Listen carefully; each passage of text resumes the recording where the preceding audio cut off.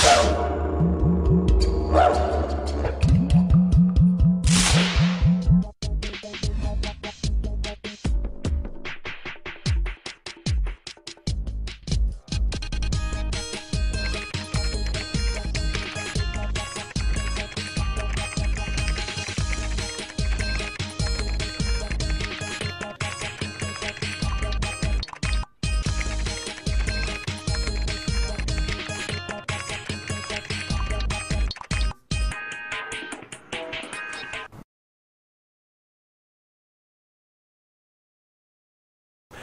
Понятное дело, что вы сольете с камеры, с флешки э, SD-шки, вы загоните в картоприемник ноутбука и спокойно себе сольете. Как правило, это файлы мувики.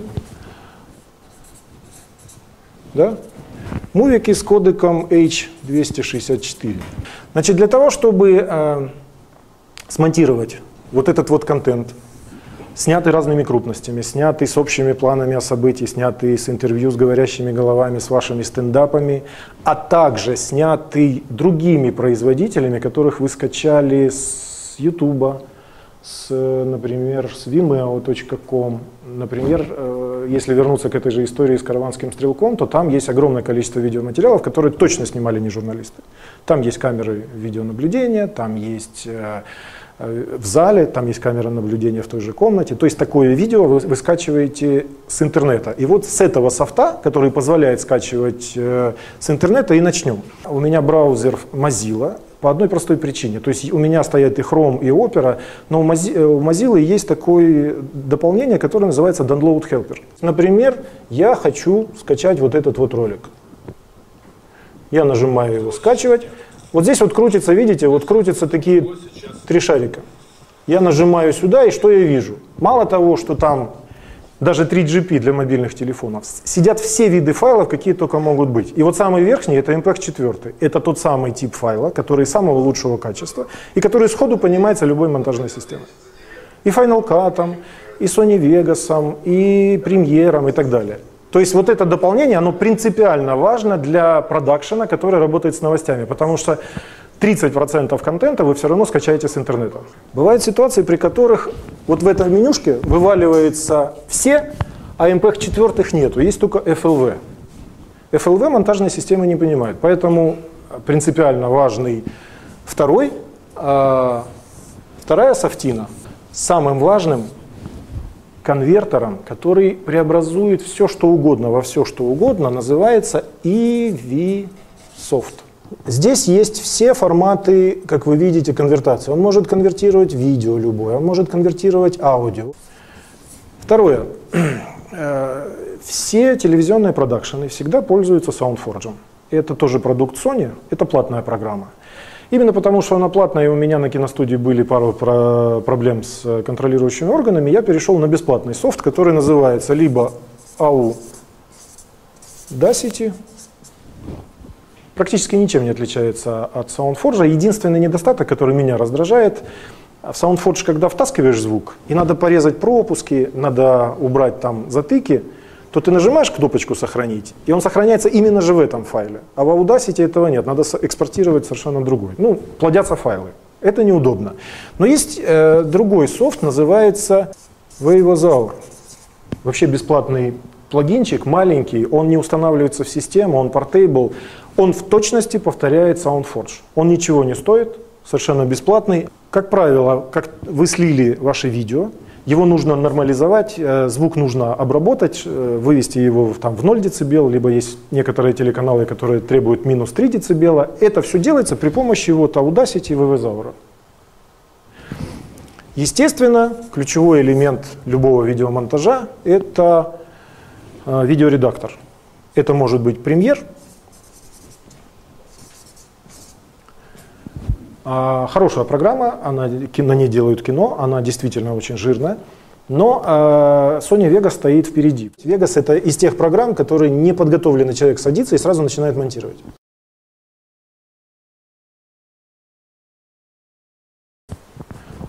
Первый заявочный план общий – это караван.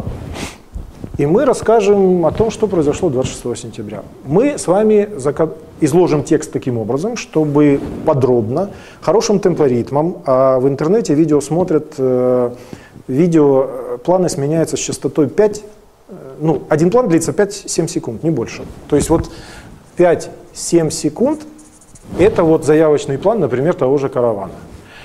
А будет стендап, не будет, это вопрос пока открытый. Мы рассказываем закадровым голосом, а, вот здесь еще дорожка, это закадровый голос. Я рисую таймлайн, как в Вегасе, как в Final Cut. Закадровым голосом мы излагаем всю эту историю. Длительность вот этого у нас репортажа 3 минуты. Больше смотреть не будут. В принципе, вот 3 минуты приблизительно а, нормальная длина. Где-то на 2 минуты 35 секунде, 2 минуты, нужно делать кульминацию. Сейчас мы поговорим о композиции. Где-то до 40 секунды, ну поскольку фактов очень много, их надо все перечислять, вы закадровым голосом это вот все рассказываете. Понятное дело, что вы монтировать будете уже по записанному закадровому голосу. Пишите вы его понятно чем. А, вы перечисляете все, что нашли.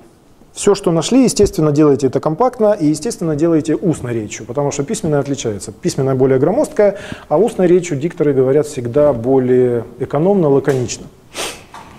А, и вот здесь где-то на 40 секунде, на 45 секунде уже пора переходить к вводу третьего игрока. То есть вот эта вот часть, 40 секунд, это репортаж первого дня. Это когда мы просто берем и пересказываем историю с точки зрения двух сил, участвующих в этом событии. Вводить третьего надо ну, в трехминутном. Это где-то первая треть. То есть это вот в сценариях художественного фильма это называется первый перевертыш. То есть все понимают, случилось непонятное, случилось человек там на нервном срыве, сделал преступление, там, ну, в состоянии аффекта, его хотели сдать ментам, он сказал фиг вам и ушел. Да, да, да, да, уже все понятно, люди понимают, что да, эмоционально это, очень, это страшно, это вот стреляют среди бела дня, и вдруг на 40 секунде происходит вброс, и вводится третий, и говорится о том, что 4 июля был принят закон, а 18 октября он вступает в силу. Кстати, очень важный момент, закон-то принят 4 июля, а 18 октября он вступает в силу, и уже все было прописано в нем. В нем было все прописано, кроме одного – вернее для людей, люди не, не очень поняли, что там было э, лицензирование. Основной элемент этого закона, который определяет передел рынка, это лицензирование. Не все его пройдут, соответственно, многие обанкротятся и будут за бесценок поглощены. И вот э, этот закон вступает 18 октября.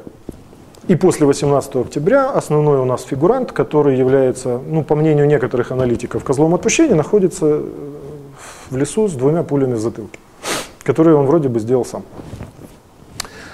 То есть нужно вводить третьего а, где-то вот в первой трети и рассказывать уже эту историю, которая идет параллельно той.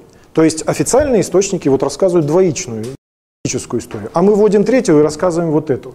Сразу повышается драматизм ситуации. Напряжение, между прочим, когда люди узнают вот это, они, они такое чувство, что они погружаются в какой-то детектив. Они реально, они начинают смотреть детективное кино. И их вот с этого момента уже не оторвать от этого, пока они не, вы им не разложите все колышки, вдоль которых они должны пройти. А эти колышки и закон, и его а, структура, и кто его внес, и какие игроки, кто, кому принадлежат основные охранные фирмы, и так далее, и так далее, и так далее. Вы, вы рассказали эту историю, и вот здесь вот происходит кульминация, связанная с тем, что начало лицензирования там уже, по-моему, где-то вот на днях и начнется. То есть к Новому году мы придем уже без такого количества охранных фирм. И нужно сделать висячий конец. Вот этот вот остаток нужно, э, опять же, не давать оценочных суждений, никаких. Мы не судим ни хорошо, ни плохо, мы рассказываем о событии. Ну, мы просто расставили колышки в такой последовательности, что люди сами все додумают. И нужно э, просто закончить какой-то нейтральной нотой и сделать так называемый открытый финал.